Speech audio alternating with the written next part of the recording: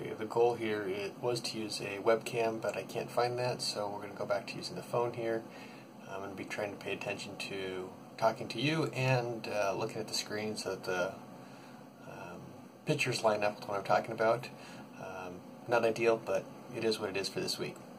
So I picked up an Atomic Pi. You can see it uh, hopefully right below uh, this little window here um, in the left-hand side there the goal was to actually do kind of a full review on it this week. Uh, there are a few others out there on the internet, and I'm glad I found this from another one. Uh, but over on the right hand side, you can see me tinning the wires.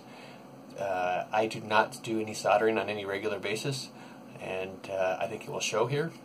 Uh, but the, once I got the wires tinned, I started um, hooking them up to the six pins here.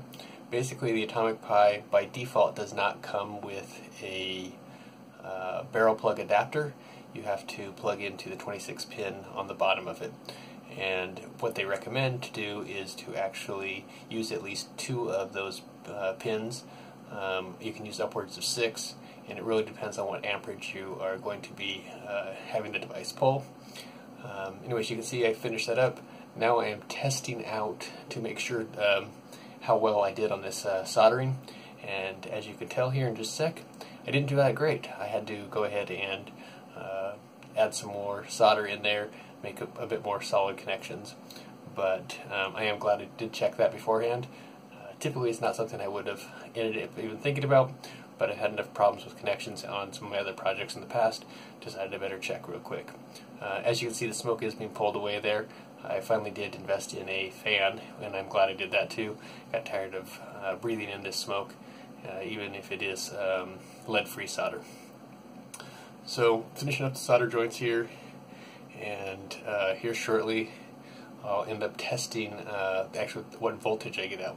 But we'll take a, a bit of dead air here as this uh, finishes up, and then uh, here you can see where I'm actually checking the voltage.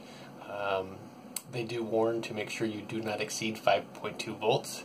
Uh, this power supply came in about a week ago. It actually made it before the Atomic Pi did when I went out on vacation. Um, but I wanted to make sure two things here.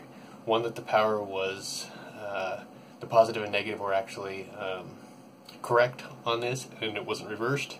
And two, that it wasn't over 5.2 volts, but as you can see, it was at 5.3. So, um, we are waiting on another power adapter to come in here in the near future. Once that comes in, we'll verify whether it's actually at 5.2 uh, volts or less. And if it is, we'll do a um, quick demo of what the device looks like and everything else.